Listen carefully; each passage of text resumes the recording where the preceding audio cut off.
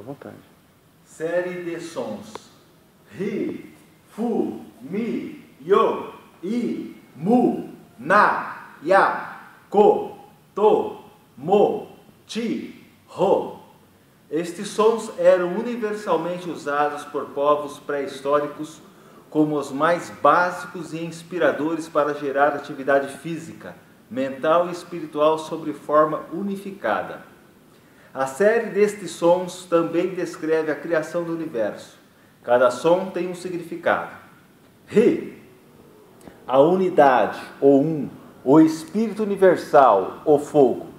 Fu, a dualidade, a diferenciação ou polarização e o começo da vibração e o vento. Mi, o ternário, a fiscalização e a materializa, fisicalização e a materialização do ego.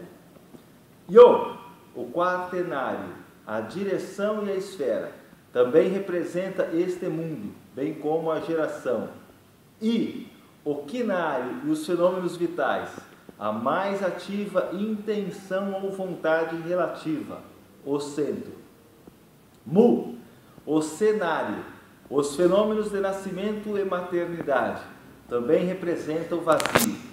Na, o setenário, existência relativa identificável, o que tem nome. Também tem o significado de qualidade vegetal, o reino vegetal, o caminho do retorno ao infinito. Ya, o octonário, todas as direções e fenômenos da radiação, também representam o infinito. Ko, a enédia, o ser infinitesimal, as crianças, as coisas pequenas, também tem o significado do aqui e agora. To, a década, o cumprimento e a construção, o edifício, o portão, também tem o significado de abrir uma porta para o infinito. Mo, a centena, a expansão, o círculo completado, também significa harmonia e desenvolvimento ulterior à mãe. Ti, milhar, a variedade dos fenômenos vivos e seu fator comum, sangue ou energia, também significa o pai.